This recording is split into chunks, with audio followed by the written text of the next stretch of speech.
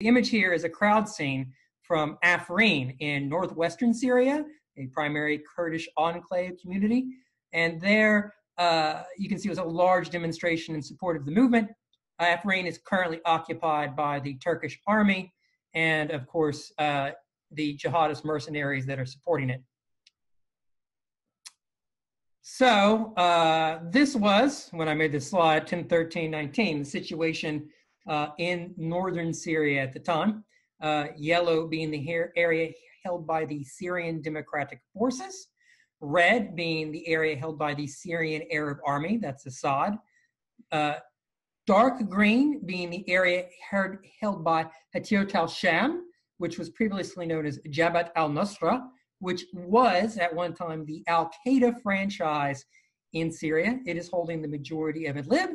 Uh, the light green there is anti Assad rebels, uh, nominally with the Free Syrian Army, that are not Jabhat al Nusra. The blue sections, uh, light blue, is the area occupied by Turkey and its uh, Syrians that they have put together in a group called they call the Syrian National Army which is arguably not Syrian, not national, not an army. But uh, that's the area they're holding. And the orange section here, both northwest of Manbij and north of Aleppo, is an area of joint control between the Syrian Democratic Forces and the Syrian Arab Army. Uh, the area just north of Aleppo is the area of the Shahba, which is a, a reservoir there, and also uh, the location of uh, the town of Tel Rifat. Uh, that is where many internally displaced people from Afrin moved to after they were displaced by Turkey's invasion of Afrin. So this was early on in Operation Peace Spring when they had made their first forays into Tel Abyad and Serikanye, also called Ras Al Ain, and uh, this settlement here that was headed towards the M4, which will become infamous soon. So uh, when I put this talk together. It was directed at Our Revolution Arlington. Our Revolution was a group that was formed up of uh, after Bernie Sanders' campaign, uh, the presidential campaign, and people who wanted to keep the Sanders momentum going into an organization, though it's not exclusively a Sanders group. And this was a collection of statements from various Democratic politicians and candidates for the Democratic presidency expressing a fairly universal position uh, among them that Trump's policy of a immediate withdrawal was betraying the Syrian Democratic Forces and leaving them to be uh, attacked and slaughtered by by Turkey. Uh, this seems to have a, a broad support uh, of a position in the Congress. Um, I believe there was a recent resolution that was passed in the House that had only 60 votes against it, uh, condemning Trump's uh, immediate withdrawal. So we have bipartisan support in Congress still. What can be done with that, we'll have to see. So, leaving aside the domestic politics, uh, or at least the congressional politics, let's talk about how this whole project grew up and one particular American influence, one influence uh, among many, which was Murray Bookchin's thought in social ecology, democratic confederalism. Uh, libertarian municipalism. Uh, Murray Bookchin uh, was a radical revolutionary from New York who eventually moved to Vermont and went through several stages of ideological growth over his life. You know, he was one time a you know young Stalinist who'd been sent off to organize the factories and went through a period of uh, exploring different socialist trends. You know, by the SDS time, uh, Society of, uh, for Democratic Society (SDS) that he had also become an anarchist, was famous for penning a uh, article called "Listen Marxist," where he uh, repudiated Marxism for its hierarchical tendencies and encouraged people to embrace anarchism. He was very involved with the foundation of environmentalism in the United States. Uh, so much so that I think uh, the New York Times erroneously contributed to him upon his death, uh, writing uh, Carson's Silent Spring, uh, he's written a bunch of other books that are uh, probably superior in many ways. And so here's here's a list of some of his books uh, on the essential bookchin. And where it becomes important is I'm, I'm quoting Eleanor here, who, who may even be on the call, but that uh, the Kurdish freedom movement of Rojava, northern Syria, and the Rojava social contract is based on the pillars of feminism, ecology, moral economy, and direct democracy. That these principles resonate throughout the movement as a whole, tying together diverse organizations and communities on a shared basis of feminism, radical multiculturalism, and ecological stewardship. And uh, Eleanor is with Social Ecology, which was Bookchin's flagship institution of these of these politics, still with us today. So, uh, Bookchin uh, passed away in 2006, and uh, I had been a, a fan of, of Bookchin at that time. Uh, you know, read his books, and uh, probably my longest article was actually a critique of uh, where I felt that Bookchin was not being democratic confederalist enough in regards to his analysis of the indigenous communities of uh, northeastern America, particularly the uh, Confederacy of the Haudenosaunee, the Iroquois. Uh, so I was, you know, a critical fan of Bookchin, um, and enough that uh, at the time when he passed away, I noticed very curiously that uh, the PKK, the Kurdistan Workers' Party, had sent greetings to his funeral, condolences on his passing um, and that this was uh, surprising. Uh, like many people in America, I didn't think of the PKK as anything other than an orthodox Marxist-Leninist national liberation movement uh, with a somewhat unsavory past, uh, showing what little I know about it. But that this significant party uh, in Turkey had decided to look into Bookchin uh, was kind of fascinating for me. It was 2006. There wasn't a whole lot of information about this conversation in English.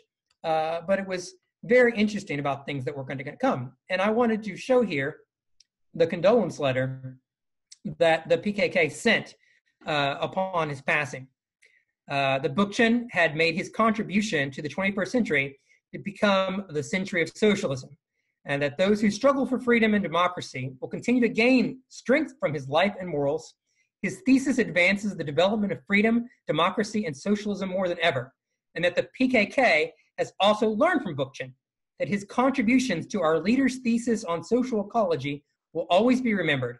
And to attain the democratic socialism that we envision, his contributions to the ideals of confederalism, his thesis on the state, power, and hierarchy will be implemented and realized through our struggle. Hence, we will continue to make its impact. We under, uh, undertake to make Bookchin live in our struggle, and we put this promise into practice as this uh, the first society which establishes a tangible democratic confederalism. We hope that all social scientists, revolutionaries will attain the characteristics of Bookchin, principles, consensus, revolutionary moral values, and most of all, they practice this in life. That Bookchin has not, uh, has not died.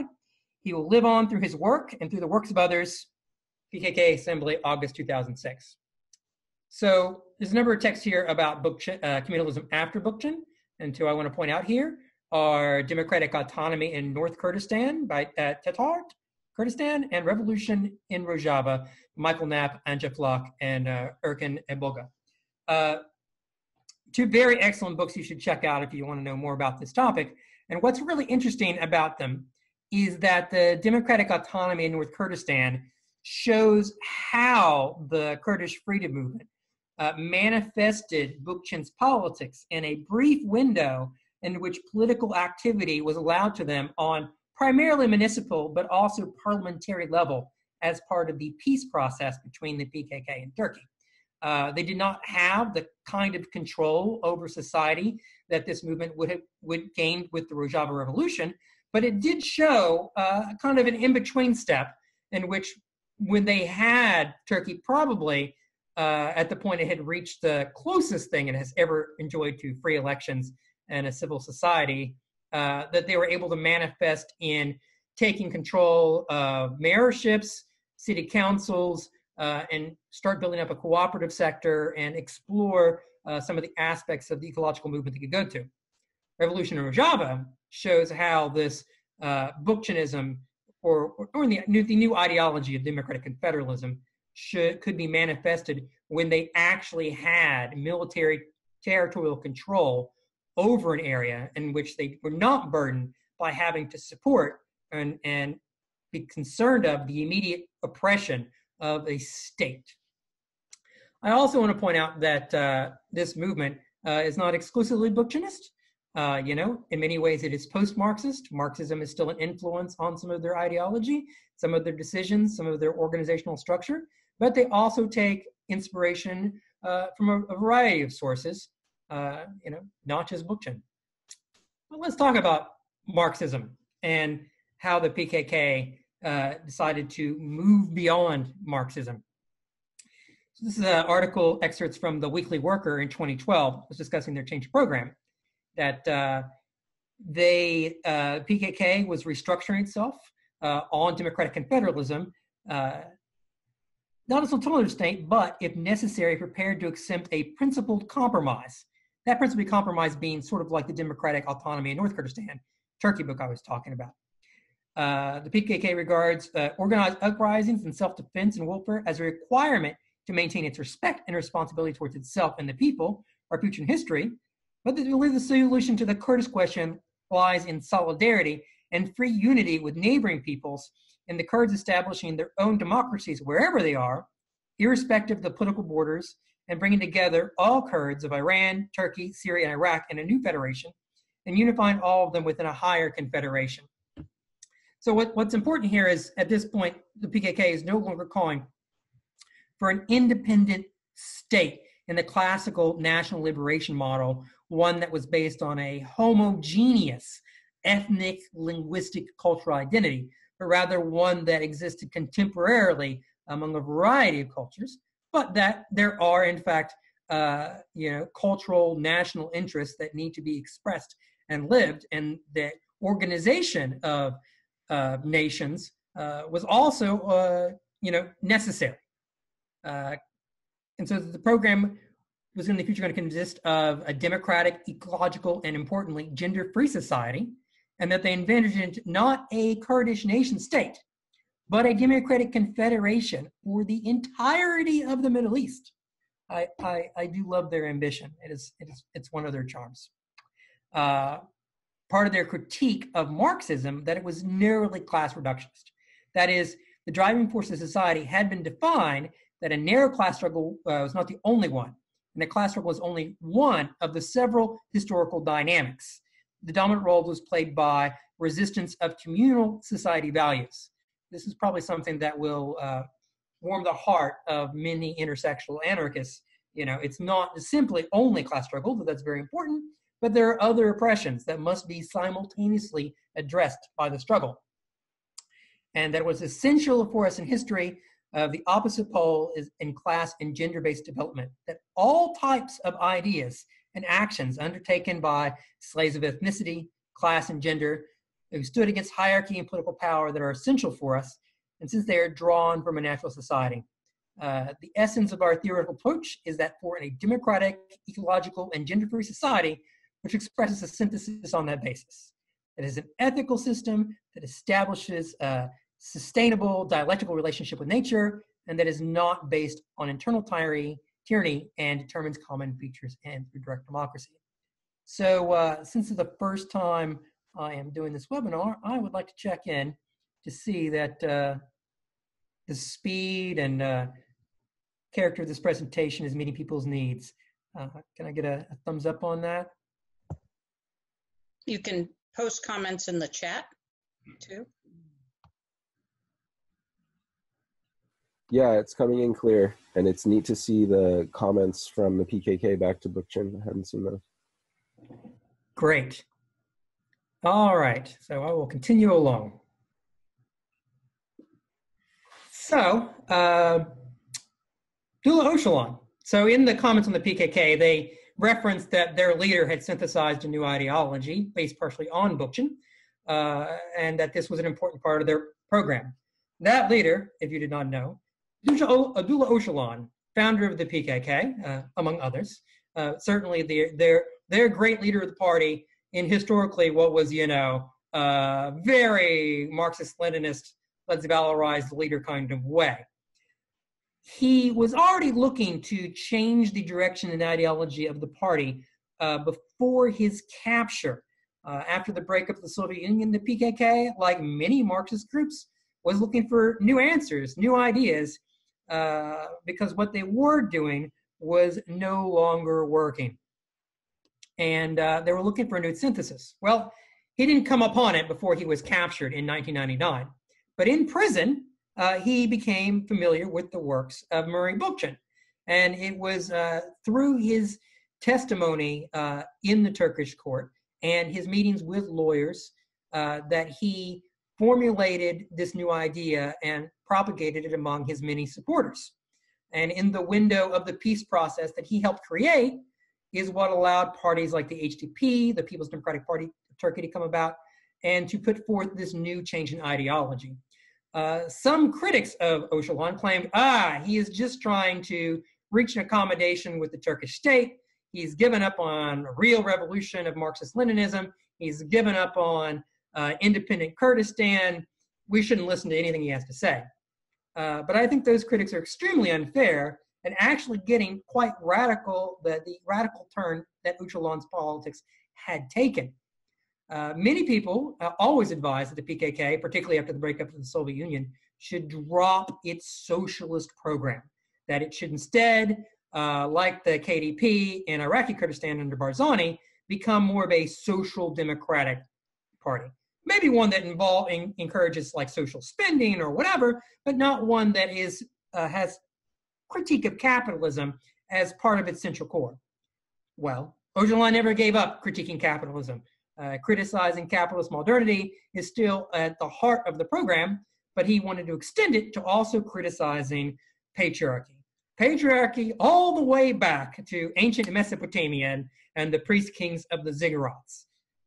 Uh, deciding that, in fact, the patriarchal form, the patriarchal form of government and the establishment of the priest caste is, in fact, the original sin uh, in society as far as he's concerned, and what has allowed class relations and eventually capitalism to develop.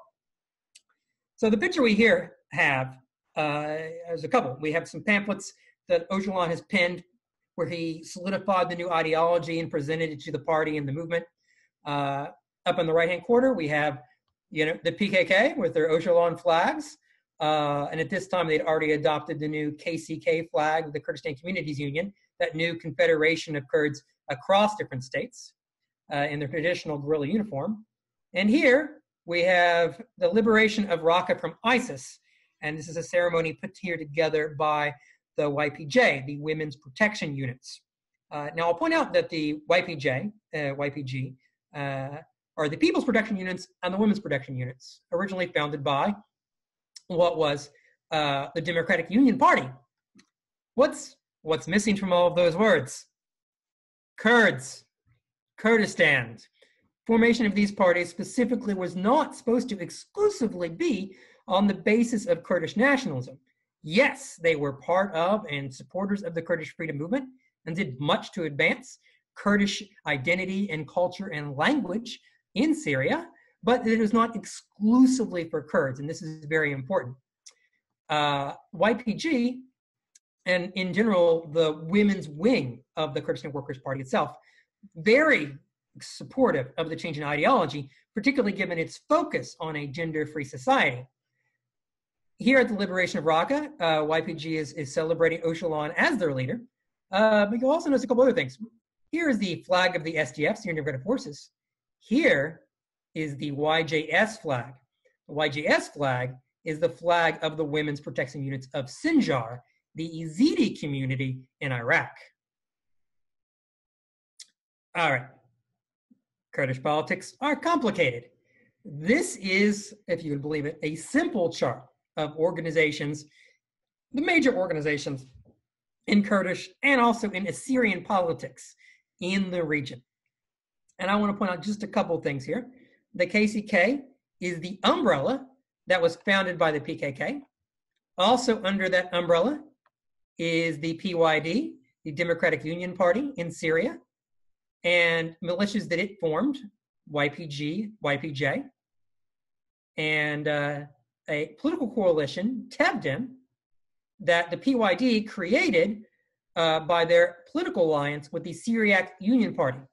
Syriacs being Assyrian people and Aramaic speaking people, uh, predominantly Christian, who uh, usually all they share in common with Kurds is they happen to be neighbors and are often oppressed uh, by a Arab, Turkish, uh, majority in their respective countries. Uh, also, while it's not a direct line under the KCK umbrella, I mentioned the HDP earlier. That's the People's Democratic Party of Turkey. The HDP is a legal political party in Turkey that wins uh, local and regional elections. They have active members of parliament. Their political ideology, in terms of things like a gender free society, socialism, opposition to capitalist modernity, uh, support for mother tongue education, uh, all these sorts of things are identical to the program of the PKK and the Democratic Union Party, the PYD in Syria. The one place the HDP differs from the PKK is that the HDP does not support armed struggle. Uh, and of course, how could they, uh, as a legal political party in Turkish parliament, be advocating for violent overthrow of the state? Otherwise, their politics are the same. And essentially, the HDP was set up uh, by supporters of the Kurdish freedom movement in the window of the peace process to give an outlet for this movement to participate in a legal political manner uh, if Turkey was going to try to be at least a bourgeois parliamentary republic. All right. Kurdish politics actually gets really, really complicated. This is a map of different organizations, and we'll just move along. So, HDP is a significant, significant force in Turkey. What you're looking at here is the last thing close to a free election that ever happened in Turkey. June 7, 2015. The purple area is the electoral districts that the HDP won in that election. You'll notice that that purple area also happens to correspond uh, with what is traditionally thought of as Kurdistan in the Republic of Turkey, where the majority of Kurdish people uh, have historically lived uh, in Turkey. Uh, one exception being Istanbul uh, here gets about a million votes uh, now. Why are there a million Kurds in Istanbul? Well, because Turkey's war, counterinsurgency efforts against the PKK, destroyed more than 3,000 people and displaced uh, more than a million people. Uh, and many of them moved to cities. It created urbanization throughout the southeast, but also many other Kurds moved to the capital, Istanbul, where they had both better economic opportunity and thought they may have less political uh, repression. The crowd shot you see behind us here is the Newroz Festival, the Kurdish New Year Festival, held in what is usually regarded as the Kurdish capital, the largest Kurdish majority city in Turkey, uh, Diyarbakir, also called Amed, uh, celebrating their new year when they're look coming into political consciousness. Look, we're allowed to do our demonstrations. We're allowed to have a political party. We're allowed to be on the street uh, expressing both a Kurdish identity and a political movement. And this is how many people we can turn out. It's like the whole city turned out. And the co-chairs of the party at that election uh, were Selahattin Demirtas and Figen Yüksekdağ. First off, you should note, co-chairs, two, two, two chairs, one man, one woman. Every position that they try to run for municipal councils, for mayors, and for the co-chairs of the party, organizationally structured to be two chairs, one of which must be a woman. Uh, this is part of their idea of making a gender-free society a structural component of society uh, that is non-negotiable from their from their viewpoint. Also, to note, uh, Figen Yüksekdağ is not a Kurd. She is Turkish. They envision the HDP uh, being the political party of all people of Turkey, but particularly uh, highlighting and supporting Turkey's ethnic minorities. Kurds uh, in their variety, uh, not just Kurmanji speaking Kurds, but Zazaki speaking Kurds from Dersim, like Selahattin Demirtas, Armenians, Circassians, Laz, uh, Christians, Yazidi. They wanted this to be for, for, for everyone, but particularly minorities to get representation and to challenge a Turkish identity, a Turkish nationalism that only saw a role for people who were Turks. Uh, the Turkish slogan, happy is he who calls himself a Turk, is a central part of the nationalist ideology that is dominating the Republic of Turkey. And rejection of homogeneous ethnic, cultural, linguistic nation states is a key part of the Kurdish freedom movements, the PKK, the PYD, and the HDP's politics. They think that the homogeneous nation state is part of the problem and part of what needs to be challenged, along with capitalist modernity and patriarchy. And so, uh, 6 million votes, 13.12% elected. Uh, this makes the HDP the most successful Kurdish majority party of all time. Uh, by comparison, I believe the most recent election in Iraqi Kurdistan uh, for the KDP, KDP got about 600,000 votes, so 10% of what the HDP polls. So back to Syria. This is mostly the relationship at the start of the Rojava Revolution in 2012. Uh, the Democratic Union Party got together with the Syriac Union Party to form the Movement for a Democratic Society. They both had militias. The Democratic Union Party had its YPG and YPJ, the People's Protection Units and Women's Protection Units. The Syriac Union, uh, Syriac Union Party had the Syriac Military Council and the Bethnahrain Women's Protection Forces. So both parties have armed women's militias, and both parties are pressing for a gender-free society. Uh, the military wing combined together eventually to form the Syrian Democratic Forces, and TEV-DEM eventually formed a civilian council to match the SDF called the Syrian Democratic Council. Uh, this was all part of the shared governance structure that they established uh, over time, starting at the revolution in 2012 up into this formation you see uh, that came about in 2015 as the self administration of North and East Syria. Early on in the Rojava Revolution, they called it the Rojava Revolution, Rojava being west for Kurdistan. But by the time of the formation of the administration, they actually dropped the name Rojava specifically so that this multi ethnic, multicultural, gender free project could be more representative of not just Kurds, but also Arabs and Assyrians and Armenians and even Turkmen.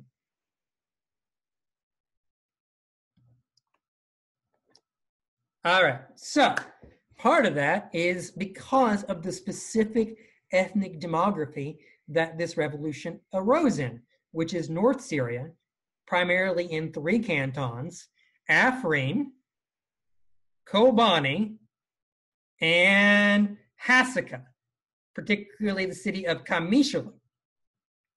So in this map from Azadi, uh, and this other map, I believe that came from uh, maybe the New York Times, um, you can see that the Kurdish population primarily spread into three canton, three clusters in northern Syria. Between them, separated by the section in yellow, which are Arabs, and the section in purple, which are Turkmen, and in red, you have these Syrian Christians. So, particularly in Hasaka, you have an extremely uh, heterogeneous society uh, with Arabs and Kurds and Assyrians living next door to each other, the street of each other, the town over from each other. This is not 95, 98% Kurdish majority area like Hakkari, uh, just across the border in Turkey. This is a very multicultural society, and Syria itself is extremely multi-ethnic, multicultural. Problem, though, is that the Ba'athist government is organized on the basis of an ideology of Arab nationalism. Arab nationalism uh, to be the uniting factor across religions. Uh, so much so that uh, Kurdish expression, Turkmen expression were to be repressed, uh, and that a Syriac, a Syrian identity, was ideally from the position of the Ba'athist government to be rolled into an Arab Christian identity. So, as things progressed, I said that the new administration in 2015 had even dropped the name Rojava from their polity. Um, they had regional elections in 2017. And I want to mention them to talk about how this movement had gone grown from beyond simply being a Kurdish movement to a more multi-ethnic, uh, multi-religious format. Uh, there were two main political blocs: the HNKS, which was the Kurdish National Bloc, uh, which is made up of a lot of parties that were once supporters of Barzani, but had gone independent so they could continue to support this political structure that the PYD had made, and the Democratic Nation List that had been organized by the PYD and the SUP. Uh, you'll notice here that it's not just the PYD and the SUP. There's a good dozen Kurdish parties. Uh, there is also uh, Arab parties and Assyrian parties, in addition to the Syriac party, like the Assyrian Democratic Party, who uh, early on hadn't had the best relationship with the PYD, but were brought in uh, to this new coalition structure uh, by the efforts of the movement to have more inclusion. Uh, and since I'm talking to a socialist group here, the there there is a risk with the method in which the PYD has built this coalition uh, because they try to incorporate as many groups as possible. Uh, some of these groups aren't as left and opposed to capitalist modernity as the PYD and the Syriac Union Party are. Some may be even to the left of the PYD on some of these issues, but some are definitely not. So the risk here is that this coalition that they built, uh, primarily to be the political wing of the military coalition that was fighting ISIS, and also to govern the area, uh, risked moving from what we would call a united front of the left to a popular front against, you know, an Islamic fascism of ISIS, of Tahrir al-Sham, uh, of that. So also see there the elections took place. They took place in what was primarily uh, the area where there were a lot of Kurds, not exclusively Kurds, but a lot of Kurds. And what's missing here is Manbij, Raqqa, Deir ez-Zor, uh, undeniably Arab majority cities.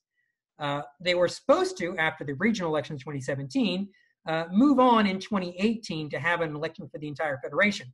Before that could happen, Turkey invaded and occupied Afrin, taking over, you know, what really was one of the ideological hearts and economic hearts of the revolution, uh, causing a lot of chaos. And they have not yet organized a election since. Uh, and at this time, it doesn't look like they will have one unless something can be worked out now with the, the Syrian government under Assad. We we shall see.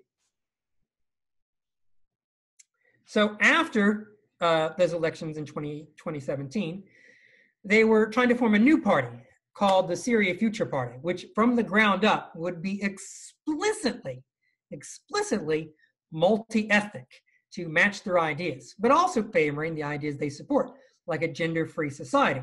Uh, here are their co-chairs, uh, Hevrin Khalaf, a Kurdish woman from Derek, and Ibrahim Al-Kaftan, a uh, Arab uh, from Manbij, uh, I'll note here that Kaftan was part of that initial Syrian revolution that so many Arabs and Kurds participated in in Manbij, that he was actually the head of the Revolutionary Council in Manbij for 15 days. Uh, as politics goes, it was only 15 days, but he was still involved in the movement. But in 2014, some of the militias that occupied the area broke his legs by shooting him and imprisoned him in 45 days.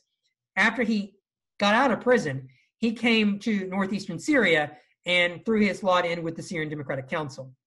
Uh, I have a longer story here about the recent execution, the assassination of Hevrin uh, Khalaf, uh, who was his co-chair, most likely killed by a Turkish-backed militia, an Islamist militia called Ahrar Sharqiya on the M4 road uh, just this last week. Um, she was rather brutally uh, killed. Her face and body was mutilated beyond recognition by multiple gunshot wounds. Um, I believe there's going to be an editorial, an op-ed in the paper Washington Post tomorrow by Ahed al-Hindi, uh, who was her friend and comrade, also an early Syrian revolution that came to to support the efforts of the Syrian Democratic Council, and feeling that that actually holds more of the ideas that they were initially seeking uh, with the revolution than what has become of the Free Syrian Army now as the Syrian National Army under Turkey's call, or Tahrir al-Sham, the uh, the Al Qaeda franchise. This is unfortunately uh, Hevrin's car. So we're talking about this ethnic diversity that is made up uh, of this polity now, and its civilian wing, its population, and its military wing. Amy Hoffman Holmes uh, is, a, is a friend of mine that uh, I've gotten to know pretty well here. She's a, a, think tanker in Washington. I ask, please, that you don't hold that against her. Uh, you know, uh, I, have had enough conversations to know with that she's uh, she's read Marx in German, so she she does know where some of this movement's coming from. So Amy is probably the only person to do an actual demographic survey of the current Syrian democratic forces and to literally ask them what do the members of the SDC want. But here I wanted to highlight uh, some of its ethnic geography. So the icons here are actually the people she got to interview. And this is actually only part of her study, but this is the ones from uh, uh, some questions she was showing. 391 participants. Uh, supposedly the SDF weighs in somewhere around 60,000 people under arms right now. Uh, but she was trying to, to, be representative over what they believe the total percentages were. And they are. Uh, SDF may be as large as 50 to 70% Arab, 30 to 50% Kurds, 5% Christians, 2% Yazidis, 2% Turkmen. By almost any way you cut it, Kurds are no longer a majority of the SDF. Uh, maybe not even a plurality. Uh, and so this movement has changed quite a lot. Uh, we remains to be seen. Uh, some of this large growing of the SDF, though, happened through a process of conscription, uh, and how many people will continue to be part of this military force as Assad's regime moves into the area formally uh, will remain to be seen. But it's not new. Uh, the SDF itself came about together by a political coalition that was formed before the Battle of Kobani called Burkan al Furat, which has the awesome name Euphrates Volcano. And that coalition was formed up of not just the YPG and YPJ and not just the Syrian Military Council, but Arab groups uh, like Liwa Shwa Atrib, Liwa Sultan uh, Salim, Liwa Al Tahir, Al Sanadid, which is a Shamar militia in northeastern Syria, uh, Liwa Thawar al Raqqa. So many Arab groups uh, came together to, in fact, form this body as well.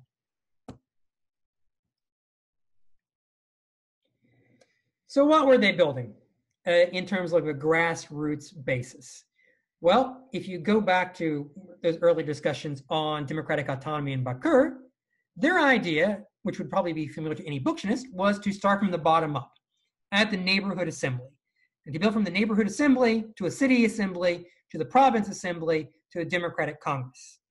And that they also wanted to see not simply elected representatives in these upper levels, but that also specifically delegations, representatives from civil society actors like socialist movements, women's movements, uh, professional organizations to also have a seat at that table at the top, but that things would flow up uh, from the bottom uh, to form this. Uh, and so it needed to have uh, different representation from ethnic parties and political parties, uh, and that it would also have a variety of regional commissions to deal with ecology, economy, education, language, religion, culture, science, diplomacy, women, and young people. Uh, critics, say Turkish nationalists, would accuse this of being a parallel state to the Turkish state. Well, maybe. Uh, the definition of state is uh, not really one that is all that solid. They simply saw themselves as a polity organizing independently of the Turkish state. And here we come to how they built it in northeast Syria, northern Syria, starting again at the base of the commune with 300 to 400 people in households, then to the neighborhood assembly, then to the district council, and finally, early on, it was the People's Council of West Kurdistan, Rojava. Uh, but again, eventually they changed the name to the Democratic Autonomous Administration of North and East Syria, dropping Rojava from the name. Again, you see the regional committees that they wanted to organize by and a, di- a distribution of power between the Legislative Council, Executive Council, municipal administrations. All right, so given that they organized this basis of a democratic participation in civil society, I want to talk about something that rarely gets talked about, particularly in the US, uh, which is their approach to challenging capitalist modernity and how it differs from the Soviet model or even a strictly communist model. Uh, of course, it's not discussed much in the US, uh, usually when they talk about women's fighters, the democratic process, because, of course, uh, in the United States right now, uh, anyone who suggests that we should have nationalized health care is regarded as the equivalent of Stalin. Uh, while the movement was using U.S. arms and had U.S. support, it's not something that they were trying to highlight. But while I was in uh, Rojava, uh, they knew who I am, and uh, we got to have lots of conversations about the cooperative economic model they were building. Uh, and uh, I, I, pulled up, I think, some good information about it that I'm going to share with you now. But first, I wanted to talk to you specifically about the ideology that was driving uh, those details. And this is actually from an interviews that I conducted with the Economic Commission. So the important here is that this is how they this is how they see their own project. This is how they self-defined their economic project to me when I was there in July 2019. They defined the Western world as capitalist.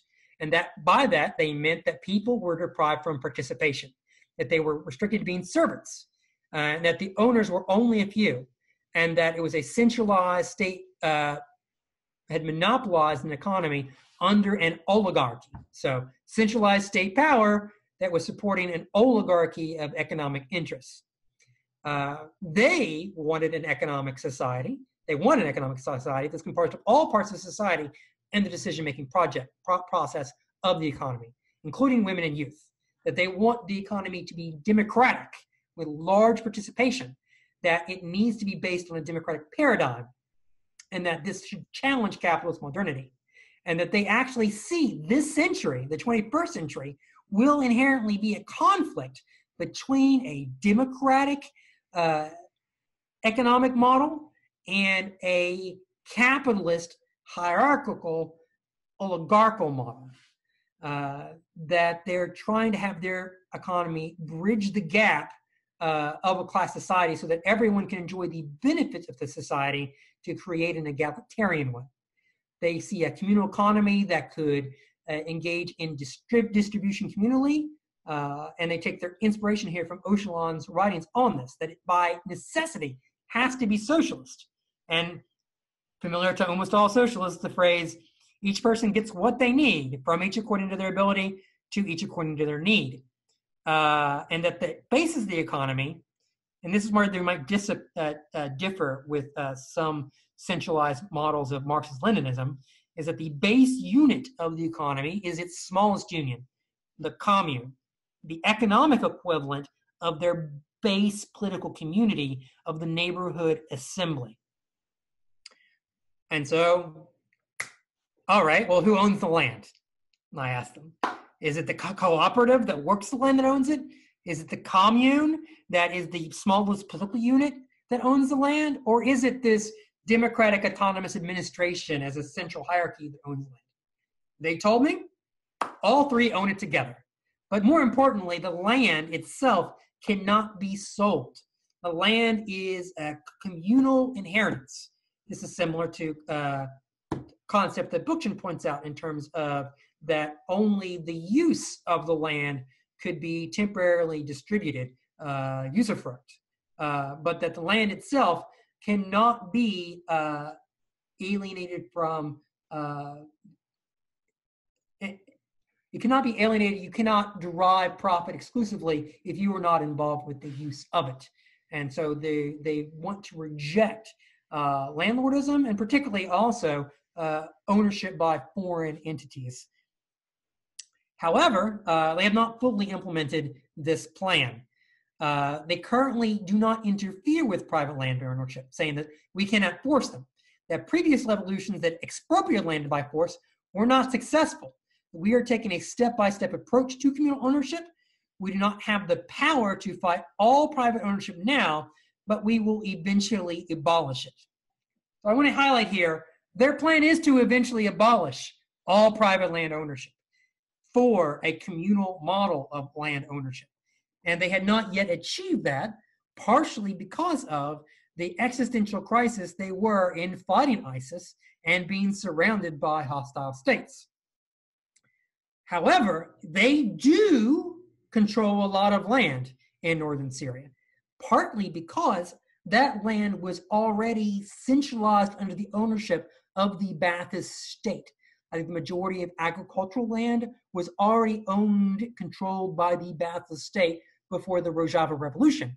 when uh, the Ba'athist and the C- Syrian Arab army withdrew from northern Syria to focus on uh, their control of Aleppo and Damascus and Homs and the like.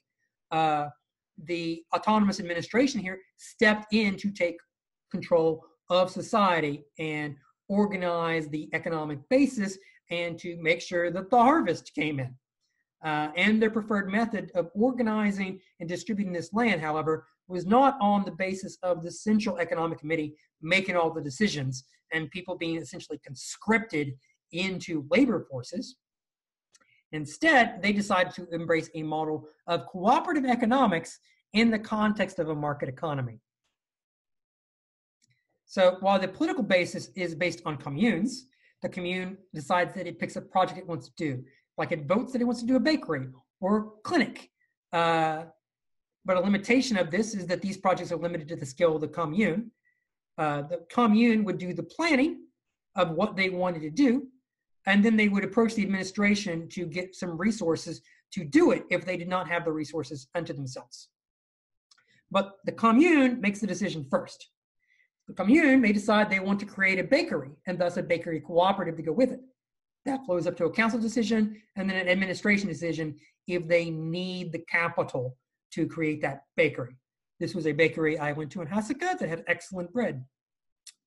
Uh, and so they are, however, functioning uh, this cooperative on the basis of a workers' cooperatives within the context of market allocation. So they still have currency, they still pay wages, and the currency they're using is still the Syrian pound, which is a, a, a, a currency that is by no means under their control they have wages uh, that they pay out and that people join into the cooperative by investing money to do it. However, you can uh, essentially take a loan from the cooperative or work into your basis for the cooperative to have your share. Uh, the number of shares that you can have is limited, and the number of cooperatives you can participate in is also limited. Uh, the administration here is not setting price controls, uh, not setting the prices anyway. The committee of the cooperative sets the price for the goods they're selling. However, in some cases, the administration does set a ceiling. Uh, they claimed, uh, when I spoke with them, that actually as much as 50% of their economy right now in July 2019 was actually cooperative. Uh, it, it's hard to it's hard to know uh, whether that's exactly the case so much of the work being done in northeastern Syria itself is agricultural, and so the majority of the cooperatives are agricultural. Uh, so th- this this this could actually be true, and part of that is they claim about 60% of the land is held in common, while 40% is privately owned. Their short-term aim was to meet to almost 80 to 90% common land, but again, they wanted to do this on a voluntary basis to get more and more people uh, to engage in this. So, uh, wanted to point out where some of this is also with the ideology of Bookchin. Uh, here we have uh, Ercan Ayboğa and Revolution Rojava that the American libertarian socialist ecologist Murray Bookchin defined the ideal economy as a municipality led by a moral economy that is under democratic control that he argued that the commune's control over the economy represents the highest developed form of confederalism, and that the same principles being applied to the economy of Rojava, mainly the Kurdish populated north of the Syrian state territory that was liberated in 2012, and which came up from the popular uprisings. So uh, Ayboğa here is actually seeing uh, this economic model under control of the communes and the cooperatives as the highest state of democratic control that Bookchin envisioned. So join the cooperatives based on money and work to participate. Uh, the lowest share you could have in a cooperative is one, the highest share is five. People with capital can join and participate in the cooperative. Uh, the state can be borrowed from the cooperative fund and paid back in accordance with conditions specified by the cooperative. An active member is the one who participates in the cooperative work with their mental physical efforts and the financial member is one who participates in the cooperative's work with their money only. What's important here is the active members uh, are the ones that have votes. on the conditions of work, what's going to be like, while the financial members can uh, gain profit uh, from their participation in it. And some of these cooperatives are primarily worker cooperatives, like you see here at this sewing shop that I visited in Hasaka in July 2019. Others of these cooperatives are uh, almost like your, uh, you know, grocery cooperative, where the a minority of the cooperative members are workers and a majority are uh, essentially consumers. Uh, this was the case at a chicken growing cooperative I went to in um, as well. That I was told that two families there were responsible for, I believe, something like a hundred thousand chickens, uh, and that the most of the majority of the cooperative members were people who joined because they liked to buy cheap chickens. Uh, chicken actually is the primary animal protein that is being consumed in northern Syria right now, uh, and they plan to be completely economically independent on chicken production by next year. Uh, you also see here uh, some of the specifics about capital in starting up the cooperative that initially uh, a particular ratio of the profits that come annually through the cooperative need to be reinvested back into the cooperative fund. Uh, and then later on, that ratio decreases so that the cooperative itself uh, has more control over its production. But early on, uh, many of it is, is reimbursing that initial investment. So the cooperatives are one thing, but another aspect is one of the places I went to was Jinwar, which is held up as sort of an ideal village that they want to build, a women's village uh, in northern Syria. Jinwar is exclusively for women and their children. No men live in Jinwar. Uh, and they've planted almost a thousand trees there. About 80 people live there, uh, and it was envisioned as a as a as an alternative. But as an economic model, I think it's also important to look at because it is also uh, a commune uh, that was designed to be as self-sufficient as possible, uh, but also would still engage with trade with areas outside of the community. So inside the community, things were communal, but they would sell their wheat, they would sell their watermelons and whatnot to the rest of Syria. And one thing I have not talked about so much is the importance of the women's revolution in Rojava. Now, the cooperative economic model, having taken over 50% of the economy and 60% of the land, is massively important to talk about the changes in society. And the democratic model from the grassroots of the democratic councils and the communes and the assemblies, extremely important when it's contrasted against a centralized party state under the Ba'athists, which is or seems to be controlled by the dictatorship of, of Bashar al-Assad, but increasingly under the dictatorship of Vladimir Putin on what is actually happening. Uh, so those two things are revolutionary to themselves. But the women's revolution is extremely profound in Syria. I spent about a week in Iraqi Kurdistan before coming over to uh, Rojava uh, and the presence of women in society uh, is just so more apparent and abundant on the ground, in the street, in the market, in the political structures, in the military wings. It's full women's participation. Now, obviously, this is not universal, but it was noticeably different to me in just passing through a normal day uh, while I was in Rojava that women were far more empowered and far more part of the economy and political process than they are right across the border in the Kurdistan regional government. Uh, to give you a comparison, the Kurdistan regional government has the lowest employment of women in the region. Something like 18% of women uh, have occupations in Iraqi Kurdistan.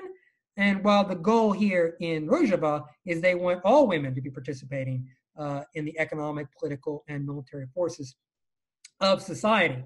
Uh, now, it's not universal, but part of how they're addressing things is through the cooperative model.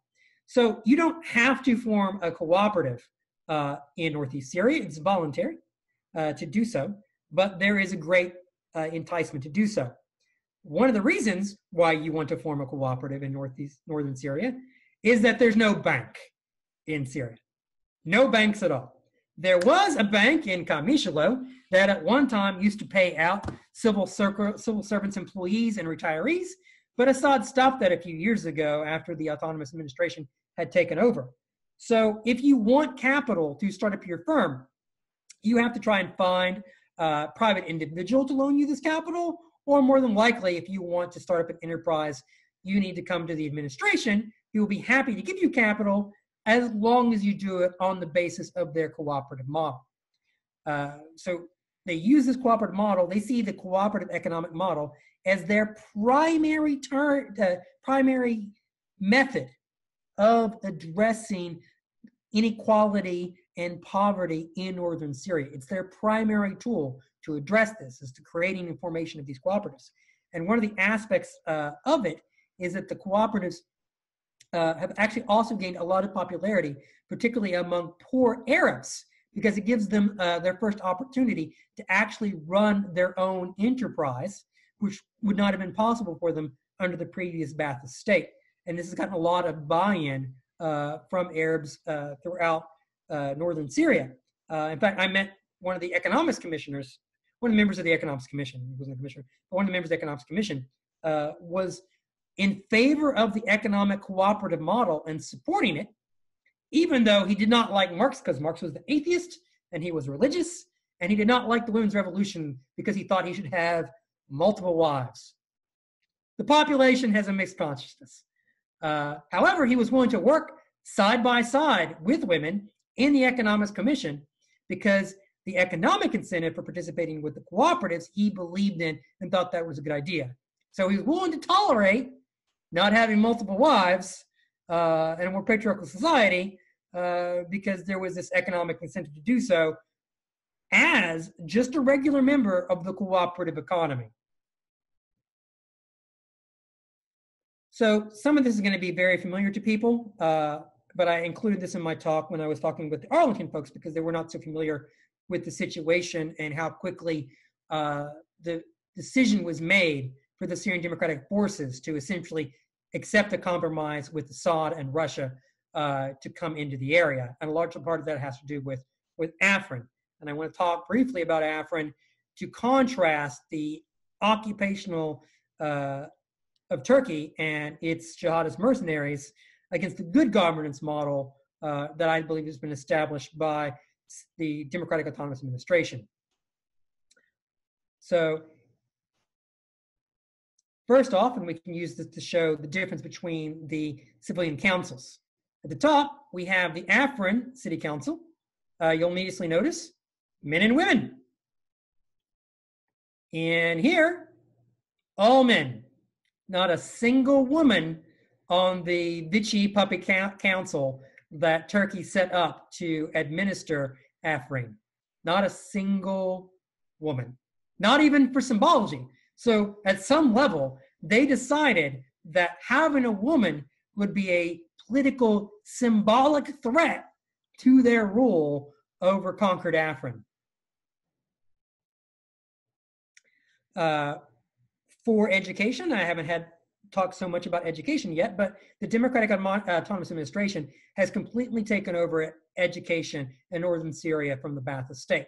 And among it included uh, mother tongue education which was not only Arabic, but also in Kurdish, Aramaic, uh, uh, the Assyrian language, and also Turkmen for the Turk, Turkmen communities. Uh, meanwhile, when Turkey came into Afrin, they started a process of Turkification.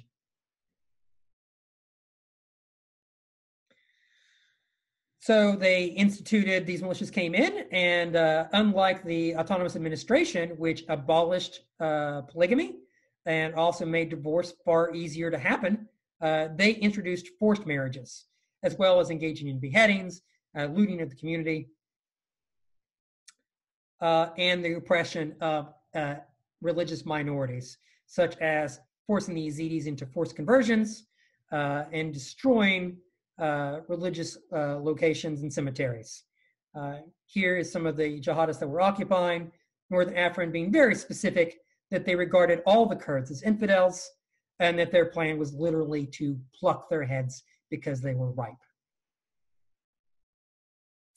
Uh, They were happy to sing the nasheeds of ISIS.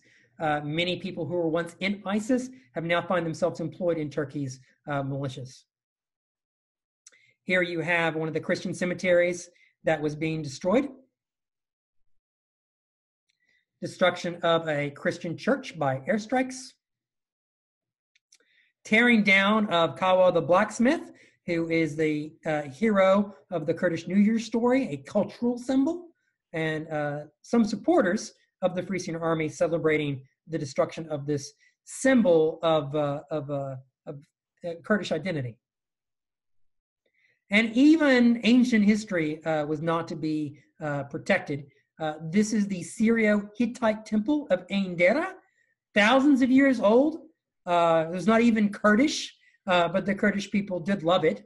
Uh, and Turkey hit it with an airstrike because it does not want to tolerate anything other than a particular Sunni Arabism. it had no military significance whatsoever. Ironically, the tomb of Ataturk in Turkey also has uh, Syrio-Hittite lions. They moved around it.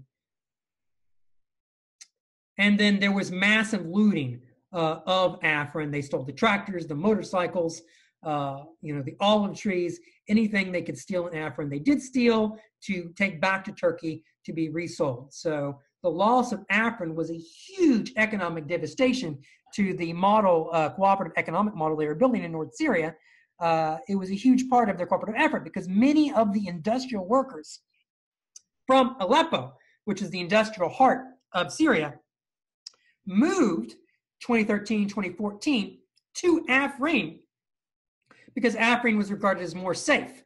And they brought with them their skills and their hard work and their capacity to self organize to build up the cooperative economic model while the economic model of cooperatives in Jazeera and Hasaka is primarily on the basis of agriculture, the, the cooperative model in Afrin was actually textiles. They were producing something like a million pairs of blue jeans a month, in addition to their uh, olive economy.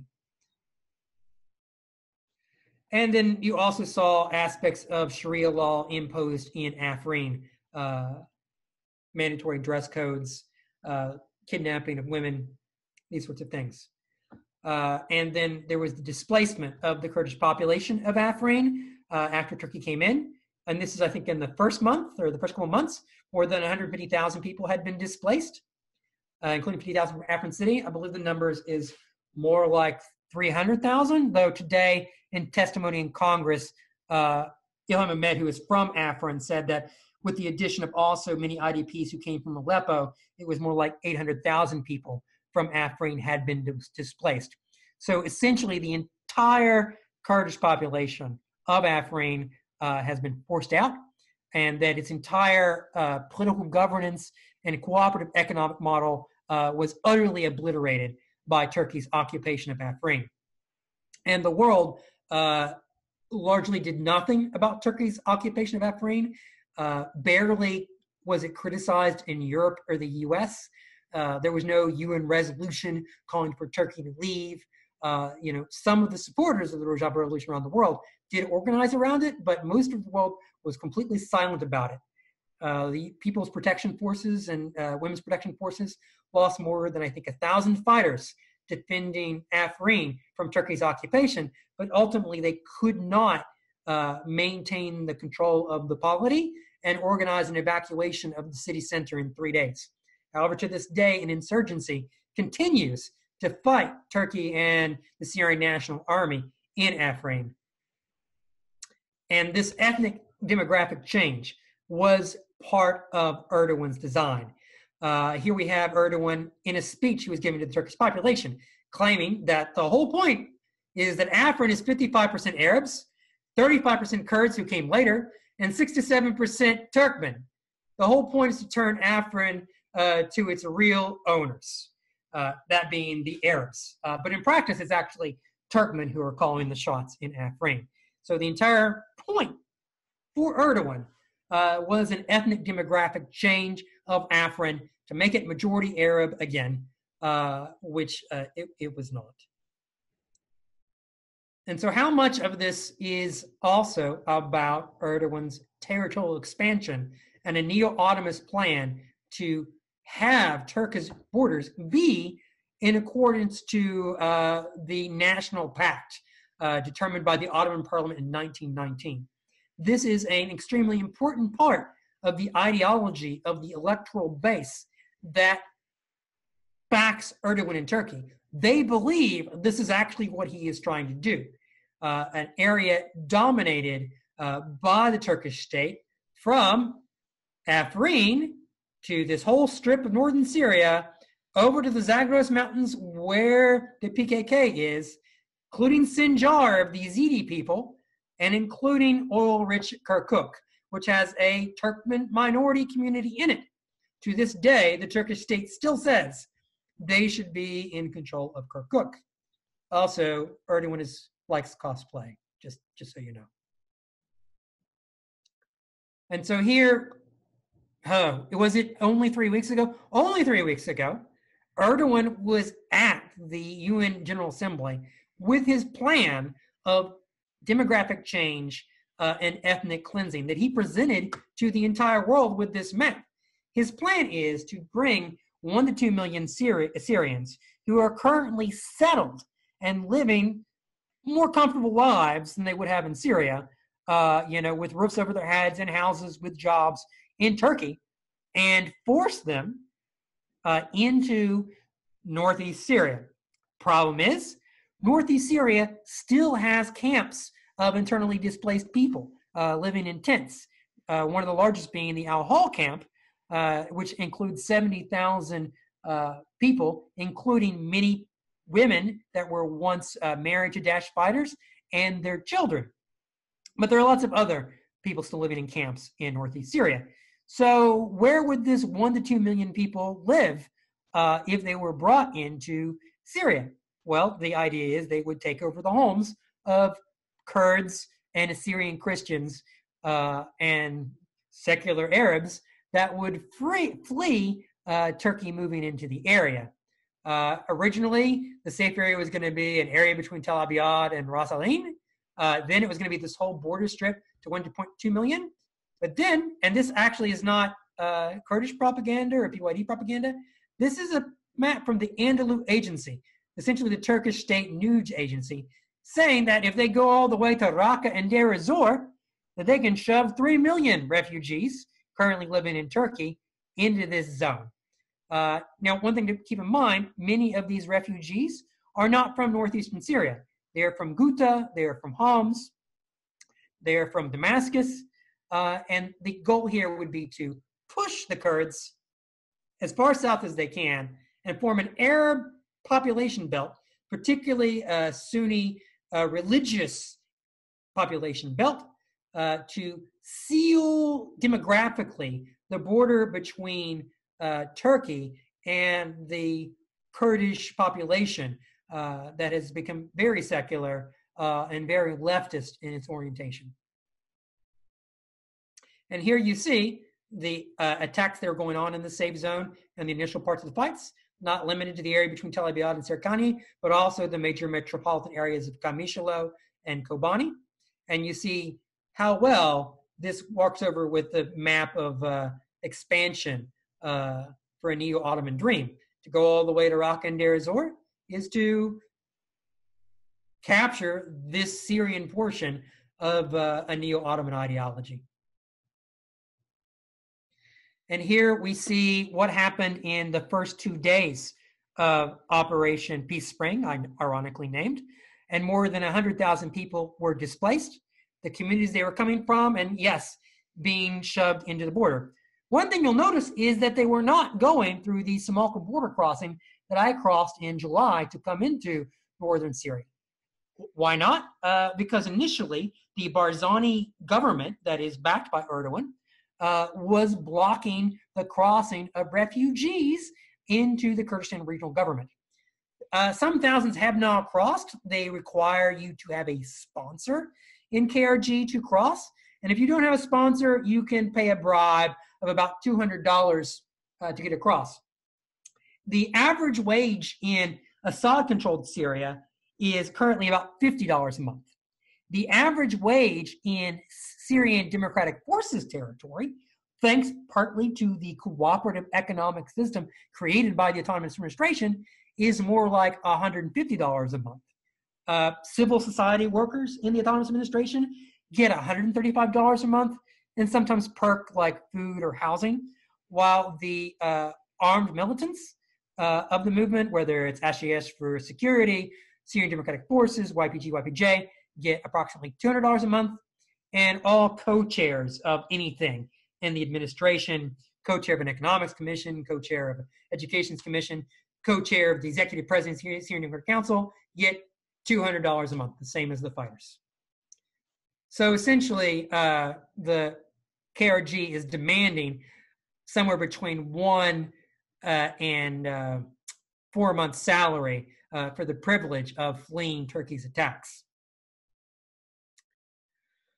And here uh, we're updating as the conflict was going on, the territory that they were taking control of. And then, uh, so when Turkey attacked Afrin, the YPG, YPJ held out for a month, hoping that the world would intervene to do something to stop Turkey's assaults, to at least create a no fly zone, something that the movement still wants to happen in North Syria.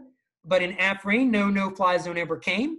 Uh, Russia seemed to have traded Afrin uh, for Erdogan pulling uh, Syria, Free Syrian Army fighters out of southern uh, southern Syria and also out of Ghouta, uh, so that the Syrian Arab Army could have an easier job taking it over. Similar to how Erdogan and Putin made a deal that Erdogan would pull fighters out of Aleppo in exchange for Erdogan being allowed to do Operation Euphrates Shield, where they took the area from Jarablus to Al Bab to stop the Syrian Democratic Forces from uniting the cantons from Manbij to Afrin, which would have allowed them to seal the border uh, and have a contiguous territory. And so, very quickly now, you know, within 10 days rather than a month, uh, an agreement seemed to have been reached between the Syrian Democratic Forces and the Assad government uh, and Russia for Assad, the Syrian Arab Army, to move into some of these towns, to raise up the flags, and to start taking over border posts to block Turkey from coming in. It's still unclear whether Russia is going to uh, close the skies to uh, the Turkish Air Force, but it seems to be that the current ceasefire is now holding. And we all hope that a ceasefire will continue and there'll be no further uh, displacement uh, or, or war. And I, I, just wanted to end on some happier pictures uh, that I took uh, while I was there. Uh, this is one of the fields with the new, one of the, some of the thousand trees that have been planted in Jinwar and the sunflowers they used to, uh, to mark the area. Uh, here was a, a, a park in Amude, one of the first towns I was in when I went to Syria. I did not expect the first thing to do the night I was in Amude, in, in, in Rojava, was to be to uh, ride in a Ferris wheel. Big, big Ferris wheel and rocket too. This is a uh, memorial for the martyrs, a large cemetery in Kobani. Uh, what was happening here actually was a memorial service uh, in solidarity uh, because Turkey had done an airstrike in Zagros Mountains in Kandil that had killed a number of PKK members, including a PKK member who came from Kobani. And the town turned out in a massive way uh, to support this. I also went to a pro PKK demonstration that was happening in Amude for the same reason while I was there. Uh, this is from a conference that was held outside of Amude about what to deal with ISIS. Uh, one of the things that that I, I, abstractly understood, but didn't really get until I, I I was there, is how much of northern Syria is not sand and death that Trump might explain, but actually an extremely fertile farmland, essentially wheat fields and cotton fields and agricultural production as far as you can see all along that northern strip. One of the problems with Erdogan's plan to displace the entire Kurdish population from the northern, uh, northern area, in addition to emptying out the cities, is it would actually be taking over some of the best farmland in Syria. And forcing these farmers uh, to scratch out a living uh, in the desert area uh, between uh, the north and the Euphrates. These are some shots from Amude, and this is the the best chicken place in uh, Qamishlo. And this was from the celebrations for the July 19th uh, Rojava Revolution, uh, where the town in Qamishlo turned out to uh, participate. Uh, the young kids learning Taekwondo. The YPJ was very interested in the children learning Taekwondo, Kung Fu. Uh, and uh, can see, uh, well, people do wear hijab in northern Syria. Uh, a lot of it is extremely secular. Uh, in fact, the revolution has made it more secular. Uh, you still hear call to prayer. Uh, don't believe the hype that the YPG ended the call to prayer. Call to prayer still happens, but in Amude, as an example, very few people actually still attend mosque. Uh, they have other things to do. Uh, and you see the blue jean is the ubiquitous preferred form of clothing. very easy to do when you have a textile industry and cotton. I asked actually asked the Economic Commission in Kobani what their primary economic sector was. And I was surprised they did not say agriculture. They actually said their primary economic, uh, economic sector in Kobani is now textiles. Uh, but many textile workers having come, having been displaced from uh, Afrin. And uh, finally, uh, uh, which is uh, some graffiti that I took off in Amude, which means uh, I am not leaving and that, that you could see that in many places throughout northern Syria. It was a, a statement of people, Kurds, Arabs, Assyrians, that they were not fleeing uh, northern Syria, that they were intended to stay, come what may. And finally, an appeal for Heyva Sor, uh, the only organization, actually, one of the few organizations doing humanitarian work on the ground in northeast Syria. Uh, if someone ever asks what they can do financially to help, uh, it's safe to put your money in Heyva Sor uh, you can do so legally uh, without problem. And uh, they do real good work from healthcare to aid distribution. All right. I think I will now open things up to uh, conversation. If I can Thank you so much, Flint. Let's all, I'm going to clap. Everyone can unmute and clap. What a talk. Um, Hard to do without seeing your lovely faces. oh, okay. Well, we can we can put some of our faces up if you want to unmute your uh, your Yeah. video. Stop share. There we go. Um, and uh, go ahead. You can. I don't think. I think we're few enough that you can just ask Flint directly a question. Unmute yourself and and ask a question. Oh, I see one question here I can start with from uh, uh, Symbiosis Revolution. Yeah, Uh, that's me. Ah, will Arabs of SDF join Syrian Arab Army? Hmm, it's a very good question. You could also ask, will Kurds of the Syrian Democratic Forces join the Syrian Arab Army?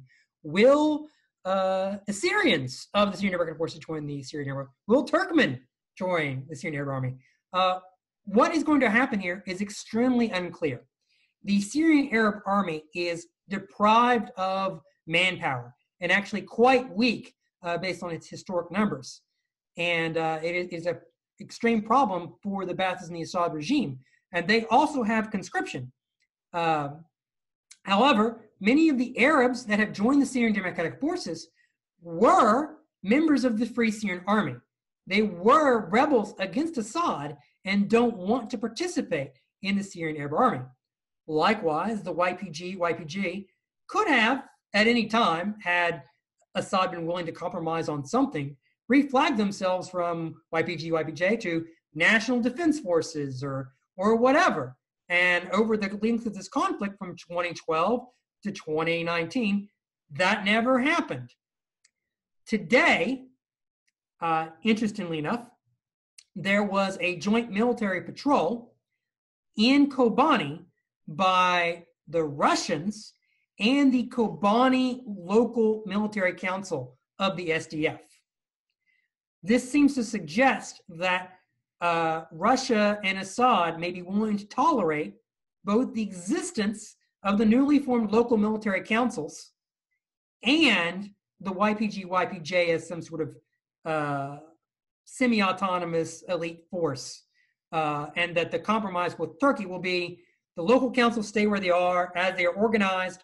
The YPG, YPJ formally withdraws 30 kilometers from the border, uh, but that uh, otherwise Putin uh, and by extension Assad are actually not going to change the military or political system that has been set up in northeastern Syria uh, because it's already embedded. It's already controlling the security situation. It already knows the people, has the support of the populace, and removing that entire structure and bringing people from Damascus and Aleppo and is, is probably not going to work very well when they have to deal with both a ISIS insurgency and whatever games uh, the Syrian National Army and Turkish MIT is going to want to get up to.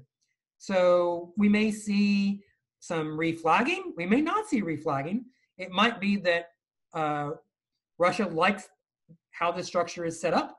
Uh, in the past, Russia has actually supported the rhetorically the push by the Syrian Democratic Council for a more decentralized, federalized Syria, and they may be willing to tolerate this polity continuing on in some sort of recognizable fashion to us. On the other hand, it could all be lies and they plan to liquidate and kill everybody who's not Ba'athist. I don't know. It, it did seem today that Putin said that Assad should have his land back. Yeah. What is what does that mean? Does that mean it's going to be a Assad Ba'athist cop on every block? Or does that mean he just wants the oil revenue, right? Uh, I don't know. Uh, I, I think for Putin, the only thing better than a dependent Assad would be both a dependent Assad and a dependent region in the Northeast that he can play off against each other. But we'll have to see if that, that is in fact the plan. Um, I have not spoken specifically about this with the Syrian Democratic Council representation here in the US, which at the moment includes Ilham Ahmed. I hope to do so tomorrow. As you know, facts are changing very quickly on the ground, but they're not they're not as uh, as despondent or defeated as uh, some of our, their supporters might think. Uh, most of the people in the leadership of this movement uh, lived under Baathism for their whole lives as political operators, as activists often facing torture in prison or whatever. And from their perspective, they're actually looking at a extremely weakened Ba'athist state uh, versus their extremely empowered position. Uh, while the, we've done a lot to try and stop Turkey's incursion uh, and the damage done there, and the loss of life uh, has been significant, in the context of the Syrian civil war and of the Syrian Democratic Forces' own fight, they did not lose much in the last 10 days, except that land between Ras Al Ain and Tel Abyad, two small towns. The SDF is still intact as we know it. The polity is still intact as we know it. The cooperatives are still cooperatives. The communes are still communes. What exactly is going to happen in the future, we're going to need to see. But it's not as if uh, the movement has no power in Syria anymore. That's not the situation. They may have to accept living under the Syrian flag, but the position of the movement has always been they were not seeking a separate state. They supported the territorial integrity of Syria. They did not want to uh, break up Syria with a new border. They wanted a decentralized democratic state. Now, how democratic can it be with Assad and the Baathists still controlling Damascus? I don't know. Can it be more decentralized? Probably. We, we need to see.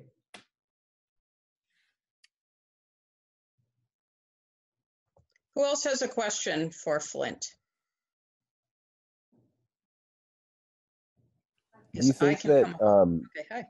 Oh, um, first of all, Flint, that was an amazing amount of information packed into a really short time. Um, I think uh, I'll definitely look over the slides later. Um, my question is whether the changes in the on the ground have changed internationalist involvement um, and what the role of internationalists has become um, as uh, things on the ground have changed? Um, I, I know that several individual uh, internationalist fighting volunteers have returned to the U.S. Uh, I know that for myself, uh, uh, having been in there in July and wanting to go back, you know, a day after I left, that I probably won't be going back anytime soon, um, because the uh, the Assad regime will probably take a hostile notion to internationalists who are supporting the Rojava revolution. Um, but uh, I know that members of the Rojava Information Center, who are internationalists, are still on the ground in Rojava. Thanks. So, will they continue to do stuff via the internationalist commune then publishing, or do you think they'll have to go quiet for a while? Well, we're going to see. I mean, I believe that the administration wants to hold on to as much of their autonomy, uh, including like the international support as they want. Obviously, one thing Assad is going to want to do is take over foreign policy and take over controlling what foreign nationals can be in the area. The agreement so far, uh, as depicted by the Rojava Information Center, says that the Semalka border crossing with Iraqi Kurdistan is still under the control of the SDF and not being turned over to the Syrian Arab Army.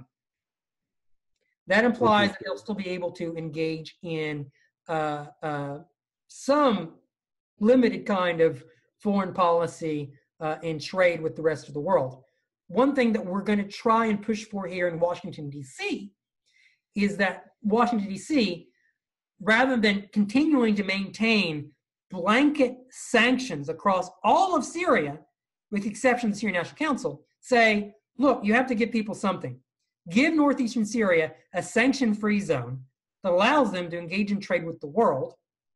And they then can say, and Assad can trade with us, right? This would allow Syria to get important pharmaceuticals and reconstruction company and all this sort of thing to come into the country contingent upon Assad allowing this autonomous administration to continue to exist to manage that portion of the trade. Economic sanctions themselves right. have proven impossible. That they've never, they have never caused uh, an authoritarian regime to change what they're doing.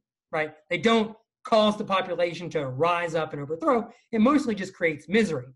But if you say, well, you can let economic trade exist as long as this democratic autonomous administration is still part of it, that might be something that could influence Assad's behavior. And that is one of the few things the American Congress could give us. But I will highlight here for the entirety of the partnership between the Syrian Democratic Forces and the Pentagon, the sanctions applied to the Assad regime also apply to the Syrian Democratic Council. They could not sell oil to the West and then spend that money in America on something as simple as a lobby group or to import tractors, right? So, and the reason that was the case is, well, Turkey wouldn't like that. Well, there's a whole lot of hostility to Turkey at the moment and its policies, and lifting these sanctions would relieve a whole lot of misery uh, in uh, Syria. Uh, and additionally, uh, it seems Congress has an appetite for changes. I'm told that they plan to impose some kind of sanctions on Turkey, specifically on Erdogan and his ministers uh, next week. And at the same time, they also have planned the US Congress to recognize the Armenian genocide for the first time. Yeah. Right. Yeah. Thank you for that. Yeah. You mentioned that earlier in the call. That's very exciting. Flint, you had provided to some people a link to your slides through Google, and I'm wondering if I can put that in the chat or. Absolutely. Okay. One, one day I will get around to writing an article. In all your spare time.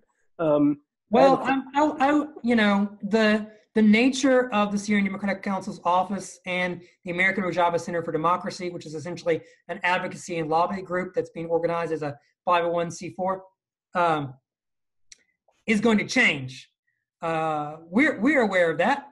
Uh, Congress is still talking to us a lot, a lot more than they talked to us in the past. But the material situation will be such that now that the U.S. is completely out of Syria, and that under a Trump policy wants to withdraw from the Middle East overall, uh, that will encourage them, one, to stop talking to us, and two, to normalize relationships with Turkey to the extent that that's possible. So, our activity is going to need to change from talking to a lot of politicians, talking to a lot of think tanks, talking to a lot of journalists and uh, uh, uh, Pentagon and State Department to trying to build up these politics in a grassroots way uh, in the movement, in popular movements here in America, uh, so that we can act better in solidarity in the future. Uh, because this movement is not defeated; it is not going anywhere. You know, they still have their six million voters in Turkey. They still have everything uh, that they had yesterday in Syria is still there, except now there are also Russians and the Syrian Arab Army taking up military positions, with the exception of control of Ras Al Ain, uh, Serêkaniyê, and Tel Abyad area.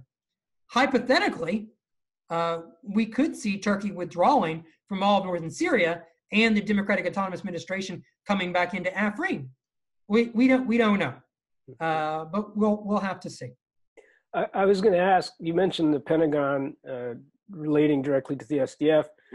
It, for what's left of uh, any kind of foreign policy apparatus in the executive branch in our country, is there how is there any awareness of this social and political uh, reality on the ground in in Rojava? Yeah, they they they know, but they don't they don't want to talk about it except for the limited areas in which it's it's palatable, which is women's rights, democracy, ethnic inclusion. This is all good. Uh, they never they don't want to discuss the cooperative model, and frankly, they had all Northeast Syria still under economic boycott. So like, there's not even trade. Um, you know, Trump's rhetoric about the oil uh, and we could secure the oil oil production in Northeast Syria or Syria overall dropped through the floor to such, a, such an extent that Syria used to be an oil exporter, and now Syria is an oil importer. In the SDF territory, they were still doing enough oil production to meet their needs, which is also partly mitigated by their control of the hydroelectric dams along the Euphrates River. The majority of electricity they use is from the hydroelectricity, not from oil generators. And fun note, I found the electricity more steady in northeast Syria than in Iraqi Kurdistan. Iraqi Kurdistan is extremely strange. It has some very nice, glitzy, bourgeois, upscale streets and buildings built by Turkish construction companies. But you go a couple blocks in either or direction, and you are back to Ba'athist era quality. And that's in the capital city of Erbil. You go to some of the other villages and everything, things haven't changed in 30, 40 years. Um, one thing is that their transportation policy is nuts. The Kurdistan Regional Government's transportation minister said that mass transit transportation was actually better under the Ba'athist state in Kurdistan Regional Government than it is today. There is, I believe, one taxi driver for every four people in Iraq and Erbil. Uh, Qamishlo, however, has uh, instituted uh, buses. Uh, I will actually talk about their mass transit plan because it raises an interesting issue of class conflict. About the only class conflict story um, that I have heard from northern Syria, uh, which was related to the taxi drivers union. So you have the cooperatives, which have their democratic decision-making power, but in some industries you have labor unions. Drivers for taxi drivers and bus drivers is one. Another the hydroelectric uh, worker, dam, dam workers, are also a union, which are democratically organized to represent their issues. The taxi drivers organized a strike against the administration's price controls on the fee uh, for taxi cabs. So the resolution of the strike, the strike was happened. The strike was not repressed by violence. They had their strike and you know expressed their demands and the administration and the taxi drivers union reached a compromise. One, the taxi drivers would be allowed to raise the cost of their rides. However, the administration was going to mitigate this by using administration funds to first fund a fleet of vans as a form of public transportation, which has now grown into a fleet of buses, both city to city and within municipalities, uh, to meet the demand of people uh, for these uh, for mass transit. Uh, you know, they in Iraqi Kurdistan, they have plans to build a train since 2008, and for all their money uh, and all their control, not they've not done it. Other questions? I want to ask if you witnessed the political, if you witnessed assemblies or on the at any level, neighborhood assemblies, or if people get sick of meetings like we do. I was there in July 2019. So in July in Syria, it is really hot, like 104 to 109. So I couldn't go to any of the school sessions because school was out. And uh, they didn't have any assemblies uh, that I could go to while, while I was there.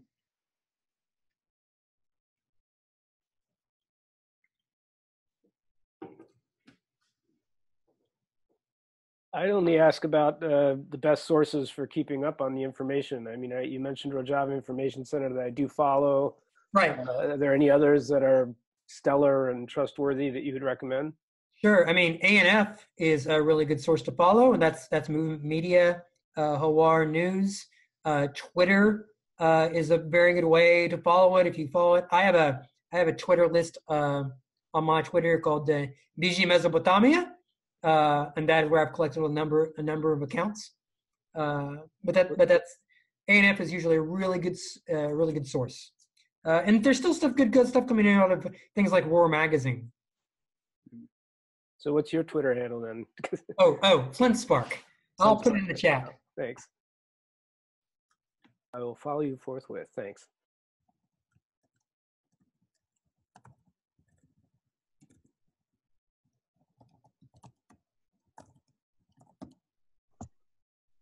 How does ArcDem fund itself, and do you accept donations? Uh, ArcDem funds itself out of the pockets of our members, um, and actually, we are uh, we had a terrible law firm, the same law firm that uh, the Syrian Democratic Council was using, and one of the first things I did was fire them. Uh, but they actually somehow confused our entire incorporation process and we had been given an EIN number, which apparently was not true and not functional. So we're redoing all that. So we've mostly just been doing cash, and our activities are very limited what they needed money for. We would occasionally rent a National Press Club or whatnot. In many ways, we were really just getting started uh, with with our stuff. Uh, the organization didn't officially form until fall 2018. We are going to be engaging in a fundraising effort for Heyva Sor, uh, by coming together with the New England Kurdish Association. A similar one was done by NECA uh, for the Afrin campaign, where they raised, uh, you know, uh, tens of thousands of dollars. So we're going to be supporting that, and I'll let people know about that when it happens. Um, and we're going to need to really evaluate uh, what we're going to be doing with the money, uh, and so how much to, to ask for. So right now, if you want to spend money to help folks, I say give it to Heyva Sor. I put the link in Thank there. And also, Flint, are you calling for people to come to DC? If is yes. coming? Yes. So uh, we believe that uh, President Trump uh, invited President Erdogan to come to DC because they're best pals and everything. And there's been nothing from the Trump administration to say that invitation is going to be rescinded. So Erdogan is supposed to arrive in and speak with Trump on November 13th in Washington, D.C. So we'd like to have a massive demonstration about that. And we are also calling for a spokes council to help organize that demonstration to be held on, uh, I believe it's Tuesday, the 26th, the 29th, Tuesday the 29th in uh, Washington, D.C. Um, so if you all would like to participate in that spokes council uh, in person, uh, we'll be having that to organize for things, and I'll probably put out some more news. But the big day November 13th, Washington, D.C. Uh, we'd like to have a we'd like to have a large demonstration, as large as we can manage it, and maybe this being the stepping stone to to reorienting our activity to being more engaged with the left. I know that ArcDem has been very focused in DC. That's what the Syrian Democratic Council wanted, but the movement's going to have to. What we're doing has to change, and we need more engagement uh, with uh, the grassroots in America uh, and for, for the presumably near uh, continual future. We may go through a name change as well, because that's what the movement does. Maybe we'll just join Symbiosis. That's a good idea. that is a very good idea. we are uh, uh, we're not exactly sure which people from the Syrian Democratic Council will continue to be in the U.S. Uh, there may also be a potential that some other people from Syria may find it advantageous to seek asylum in the U.S. Uh, you know, a lot is changing. Could you say something about um, actions in the U.S. related to HDP and uh, Kurdish question in Turkey? Sure. Uh, so the HDP has been under massive repression since winning its uh, position in parliament in 2015. The Turkish parliamentary system says that if a party running for election does not get at least 10% of the vote, its seats go to the largest party in parliament. So when HDP wasn't crossing the threshold, it couldn't run as a party, otherwise its seats would go to Erdogan and the AKP. When the HDP crossed that threshold, not only could they finally sit in parliament as a party for the first time, and in fact became had the third largest number of seats, surpassing the nationalist MHP, uh, it also cost Erdogan his parliamentary majority. Erdogan uh, decided not to form a coalition government, refused to work with any other political party, and instead called for new elections in November. And in that time, did everything he could to repress the Kurdish movement. Since that time, there was also a coup attempt, which was also used to repress the HDP and the Kurdish freedom movement. And uh, there were a uprising uh, called the it's been called the City Wars, uh, that Erdogan brutally repressed with violence uh, that leveled portions of uh, Cizre and Sur and uh, portions of Amed and Sirnak, uh, a brutal, brutal repression. And at one point, Erdogan was able to regain his parliamentary majority, but the HDP is still getting more than 10% of the vote. So it still participates in parliament. However, I believe about 10 of its parliamentarians were arrested. Uh, hundreds of mayors were fired from their positions and replaced with uh, political appointees by the AKP. And they all just redid those elections again. Uh, HDP still crossed the threshold. HDP still won the mayor positions in most Kurdish municipalities in the area, and it's still still a thing. However, if they want to step out to protest uh, the invasion of Syria, their parliamentarians, their mayors are completely surrounded by police uh, and not able to effectively demonstrate. Uh, Turkey is in a very, very repressive uh, society right now, the number one jailer of journalists in the world. Uh, tens of thousands of academics have been dismissed, tens of thousands of people in prison. Uh, people who are dismissed from the positions are not also not allowed to leave the country. Um, it's a it's a pretty dire situation for them. But even despite all this, HDP uh, is still uh, winning elections in its area. Not only that, is HDP acted as the effective kingmaker uh, in the municipality election in Istanbul, the largest city in uh, Turkey. Uh, there was hope that HDP showing its weight in supporting the uh, secular, quote unquote, liberal uh, CHP party, CHP, uh, would cause Erdogan to recalculate what he was doing and perhaps stop repressing people so much and maybe not involve invade northern Syria. This was entirely wrong uh, and something for the movement to reflect on. Uh, there was a bit of controversy before the election when there was a, a story from Abdullah Öcalan saying that the HDP should remain neutral in the election and not support the CHP. Uh, and it turns out Erdogan went through, it, continued with repression, continued with the attacks. And only that, but the CHP supports the AKP's military intervention in northern Syria. Right. So, um, the so what, what we're doing in the U.S. is that what you want to do? Um, uh, I guess one of the points I wanted to draw from what you're saying was over the last couple of years, HDP organizing in Turkey has not been able to um, soften the blow of Erdogan's incursion into Syria. Not at all. In fact, um, I will take this controversial position, uh, according to uh, peace studies uh, and liberal supporters of bourgeois democracy.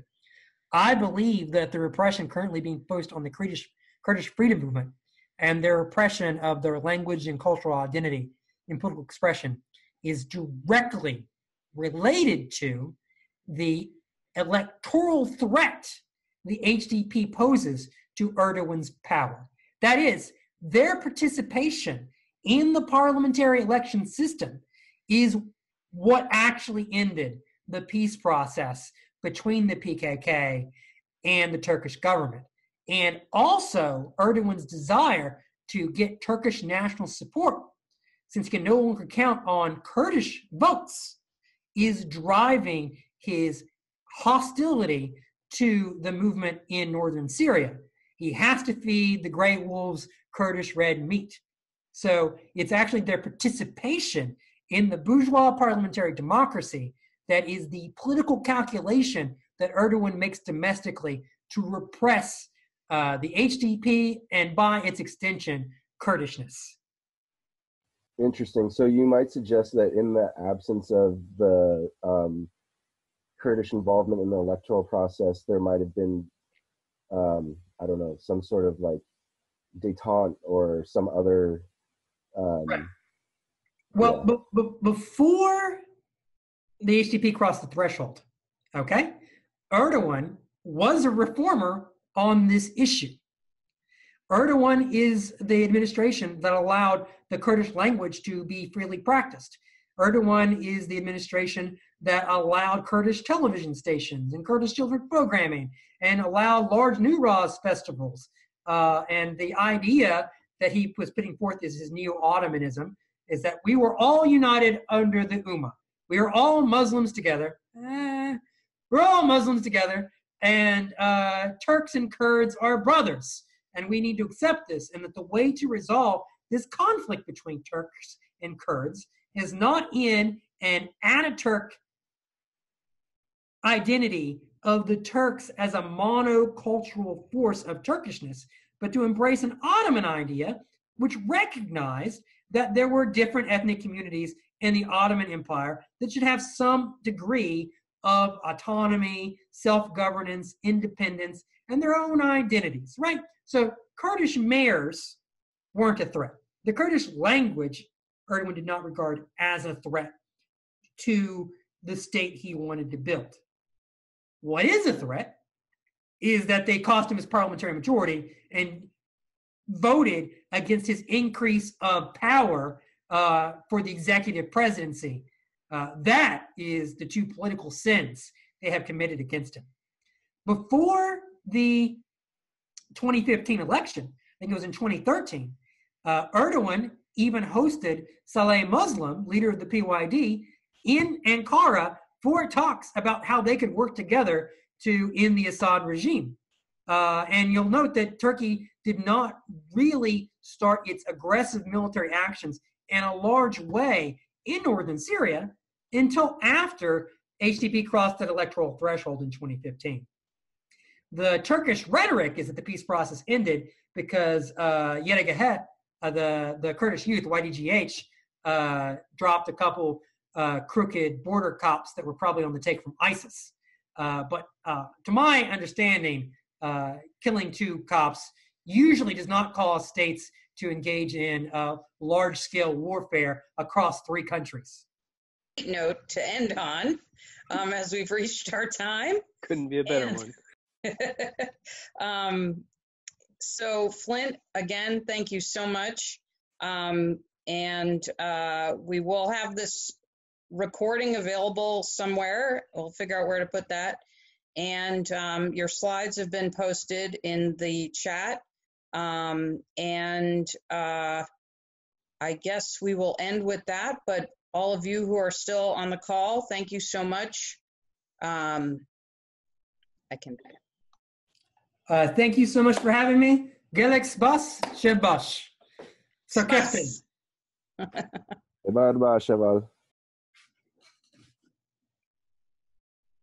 Bye. Bye.